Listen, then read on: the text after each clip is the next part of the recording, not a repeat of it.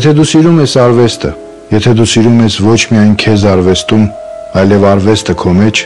ապա այն, ինչ դու ստեղծում ես, վեհացնում է քեզ եւ քո ստեղծած լույսից բաժին հանում մարդկանց։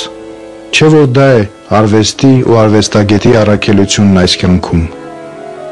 Վաչե Շարաֆյան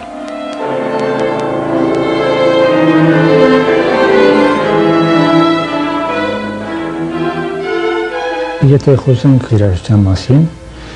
ուրեմն պետք է անպայման ասեմ, ինձ համար դա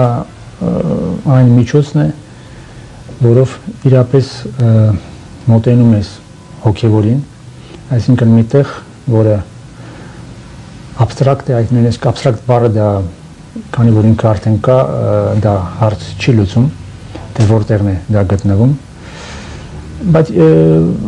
ըստ իմ փորձի իմ իսկ փորձի ինչքան որ մոդելում ես երաժշտությանը ինչքան ավելի դու ապրում ես դրանով այնքան ավելի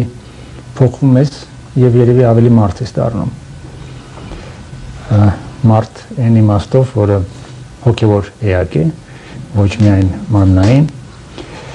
այսինքն երաժշտությունը դա այնտեղն է որը գտնվում է այս աշխարհի եւ գուցե մի այլ աշխարհի ինչ որ միջին տեղում ինչ որպես կապող մի միջոց այս երկու մեծ աշխարհների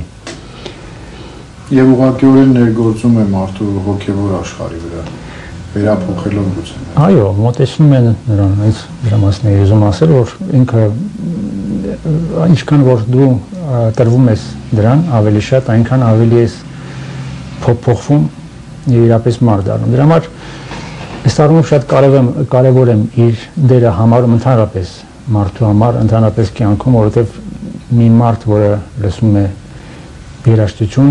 իսկական երաժշտություն, բարձր իմաստով երաժշտություն, նա ավելի պատրաստ է լավ քայլերի կյանքում, քան այն, որ շատ հեռու է դրանից եւ ապրում է լուզույթ միայն մարմնային, մարմնական, նյութական աշխարհով որի ձգտումները միայն դրա շուրջ են, ուստի չեն համապատասխանում մարդու բուն էությանը, մարդու, այսինքն մի էակի, որը ապրում է այս մեծ դեզերքի մեջ, իր մի փոքրիկ տեղը ունի եւ հավանաբար պետք է իրեն հարցնա թե ինչի համար այդ տեղը ունի